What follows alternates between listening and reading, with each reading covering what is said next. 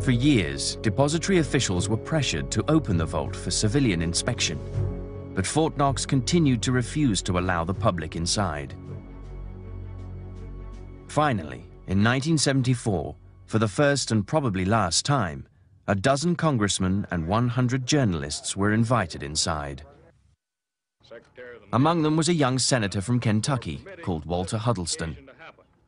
As one who has lived within just a few miles of this installation for a good many years, but who has never been inside the front gate, I can say that it is a, with a great deal of interest that those of us from the Congress have this opportunity to view the deposit here and to learn just uh, what is inside the gold vault here at Fort Knox. It was the opportunity of a lifetime. Illinois Congressman Philip Crane, who'd helped initiate the audit, was also there. Uh, Congressman Crane, you suggested all this. Why? Well, I did because there were rampant rumors, and members of Congress were receiving a great deal of mail based on the charge uh, that significant portions of our gold reserves at Fort Knox were gone. So I had suggested to Secretary of the Treasury Simon that I thought this would be a good way, I think, to dispel those rumors. The secret contents of the vault were about to be viewed by the public and recorded on film for the first time.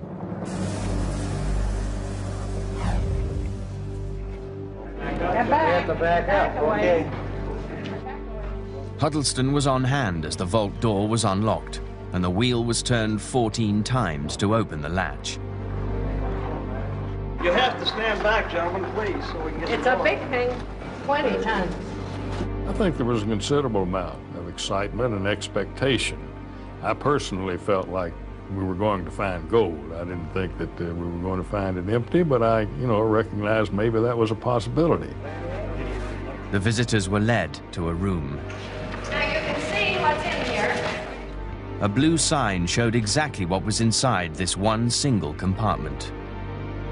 36,236 gold bars, almost 12 billion ounces. At the time, it was valued at almost $500 million. We're cutting the ribbon. Now we have to be very careful of this document. What they saw next was astounding. Come on, Can you believe that? Look at that. There's one to the ceiling.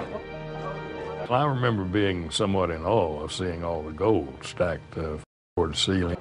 I thought, here I am in the presence of a great fortune. It was an interesting experience right from the beginning.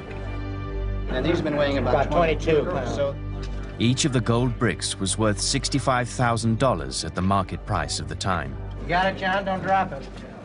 Bill Evans was one of the journalists allowed inside. Nobody knew what to expect. And everybody was wide eyed and said, This is Fort Knox. I'm inside Fort Knox. And as we were taken down one of the corridors, we were allowed to see the gold, and we were allowed to pick it up, hold it, look at it, uh, inspect it. And to my knowledge, it was. Let me get the measurements again.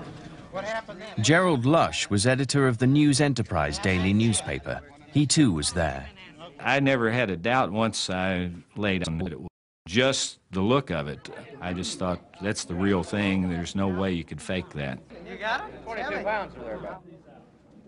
Amid the excitement, director of the Mint, Mary Brooks, took center stage as host of the event. She wore a money green dress and a necklace adorned with gold coins. Miss Brooks, are you happy now that the gold is here? Oh, of course, I knew it was here all the time. I think she was having a ball. I mean, how, how many times do you get to, to make a tour and lead a tour of Fort Knox, Kentucky? First time ever. No photographer or reporter has been allowed into Fort Knox since.